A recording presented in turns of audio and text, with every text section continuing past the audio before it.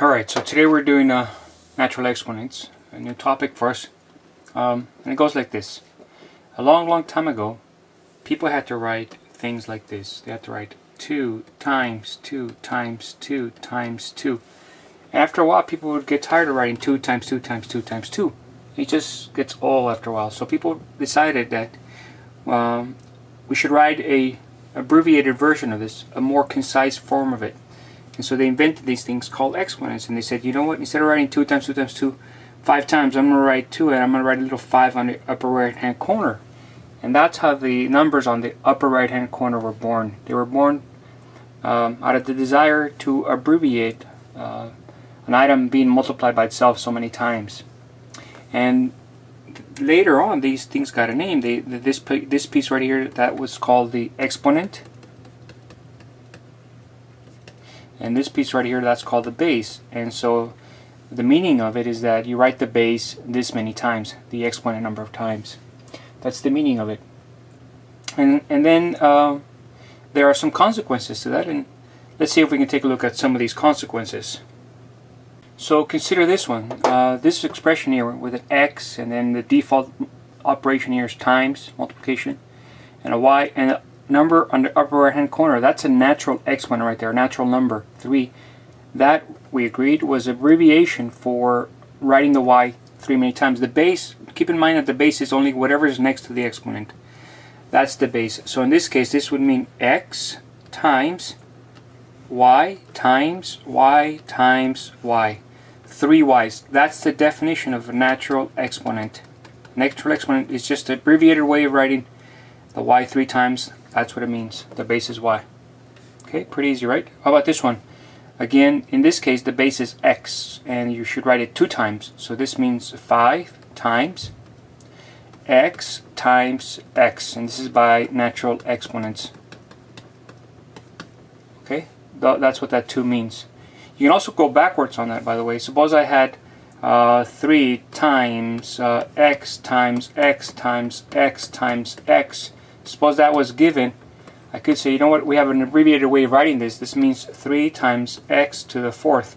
This is by natural exponents. So you can do it both ways. Either expand it using the exponent or collapse it using the exponents. Either way is good. It's all natural exponents, the definition of what these numbers mean on the upper right hand corner. Okay? How about this one? In this case, the base is, again, whatever is next to it. Of course, there's an exception here. There's parentheses whatever is next to it means the whole thing inside the parentheses. So this this is the exponent, uh, and the base is right here. This right here is the exponent, the 2, and the whole thing here is the base. So that means you should write the base two times. x plus y times x plus y. That's by natural exponents. Now later on we'll learn other things like foiling and whatnot, and we'll learn how to proceed from there. But for now, we're just practicing our skills on trying to understand exactly exactly what that 2 means on the upper right hand corner.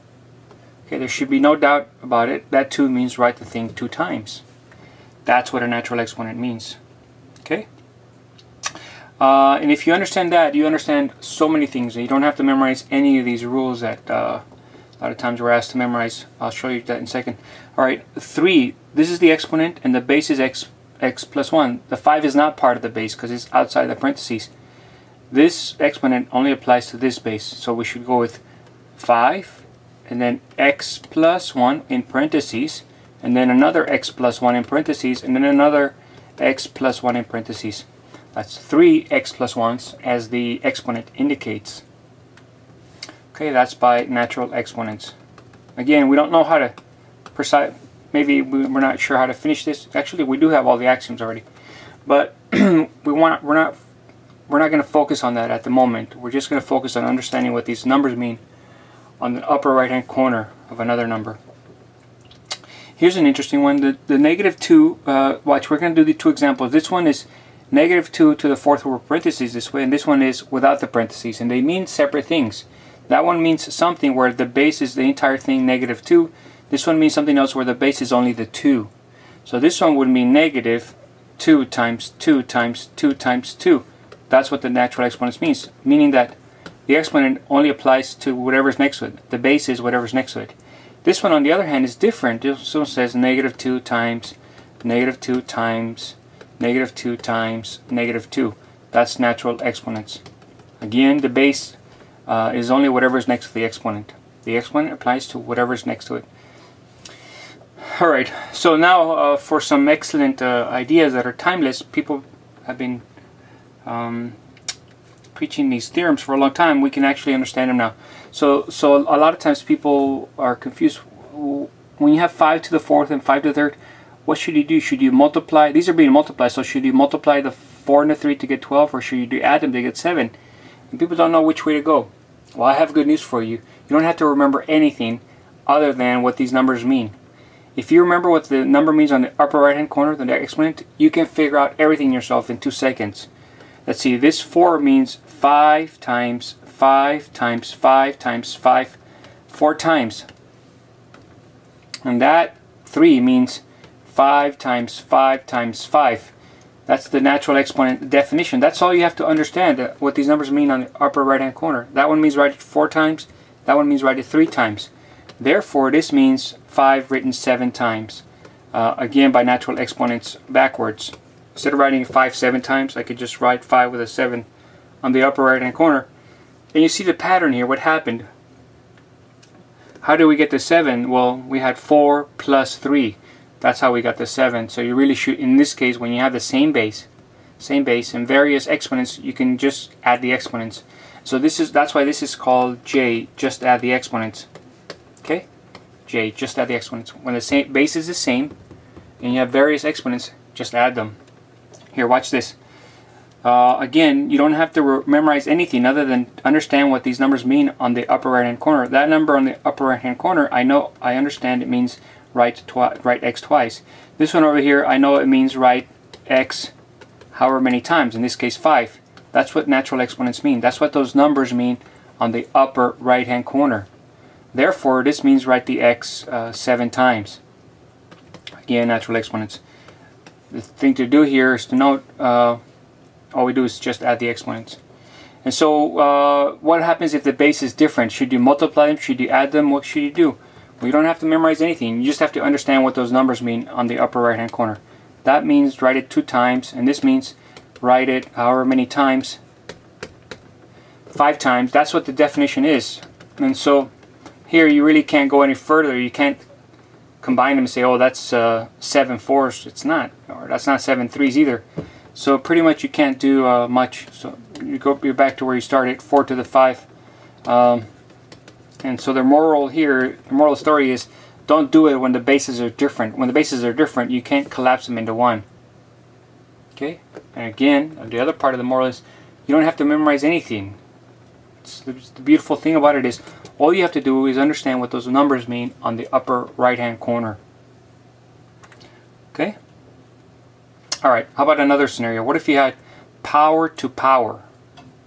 This is power to power. Well, you don't have to memorize anything. I'm telling you how powerful this definition is. Look, that 3 right there, that 3 just means write whatever's underneath my finger here three times. So I will do that. 5 square, 5 square, 5 square.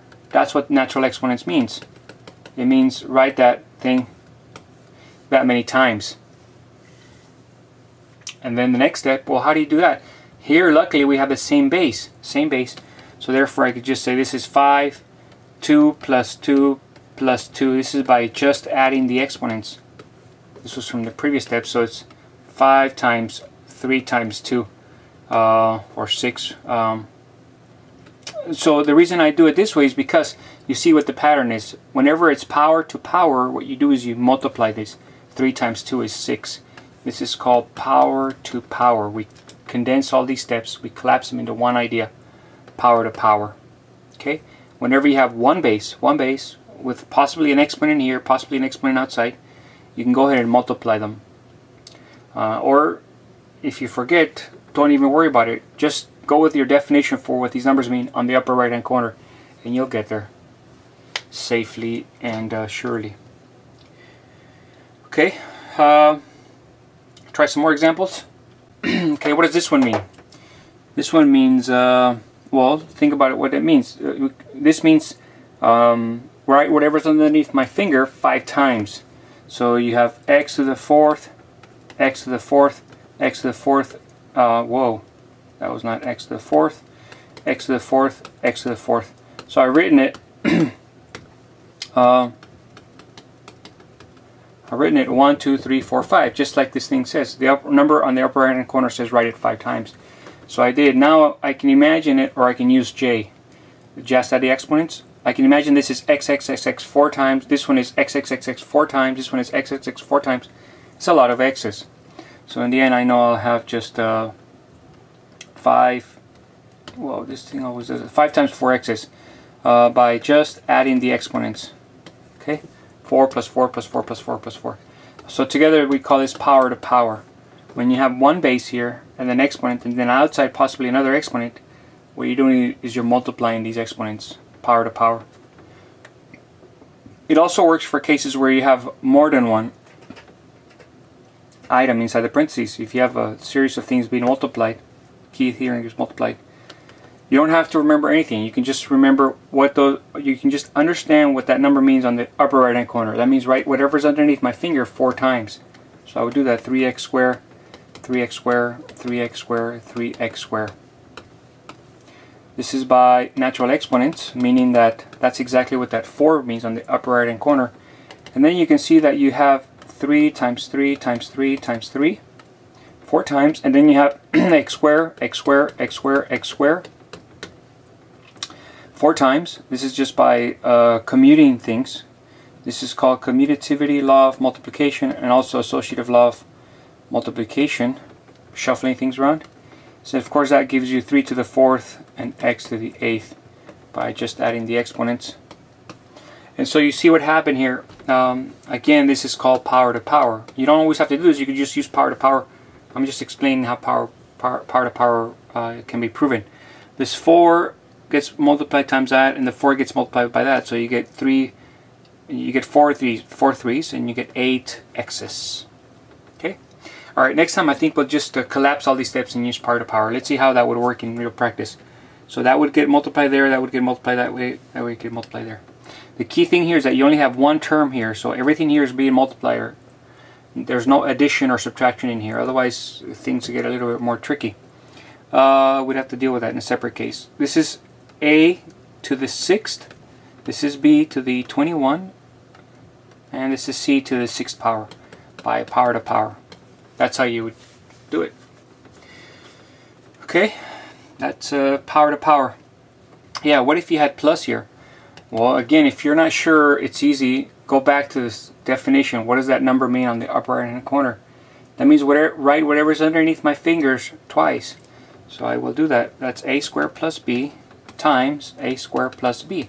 That's by natural exponents. That's what that 2 means. And then you see you can't shuffle down, you can't commute. There's no um, commutativity law of multiplication because this is addition. And there's no associative law of multiplication because this is addition. And there's no associative law of addition because this is multiplication. So you got a mixture of the two operations. You really can't be moving the parentheses around or any of that stuff. That's pretty much as far as we can go using these ideas. We could go further using distributive laws, but uh, that's for another chapter uh, which I'd rather not focus on right now. I just want to focus on these exponents for now. Okay, for sure you can't just shuffle things around. You got a mixture of operations, plus, times, plus. You can't use any of these things. All right, um, I think uh, I think that takes us to the end of the lecture for today. Uh, practice your exponents. I've set up a lot of flashcards and whatnot, and I think you'll have a good time. And I think you'll really appreciate understanding what those numbers mean on the upper right hand corner and of course the two theorems that we learn we learn a definition natural exponents this is the things we learned today natural exponents we learned J when you have the same base x to the a x to the b all you do is add the exponents x to the a plus b. And we learned power to power. X to the a b becomes x to the a times b as opposed to that. Alright that's a little quick summary what we did today. We'll see you guys here next time. Peace.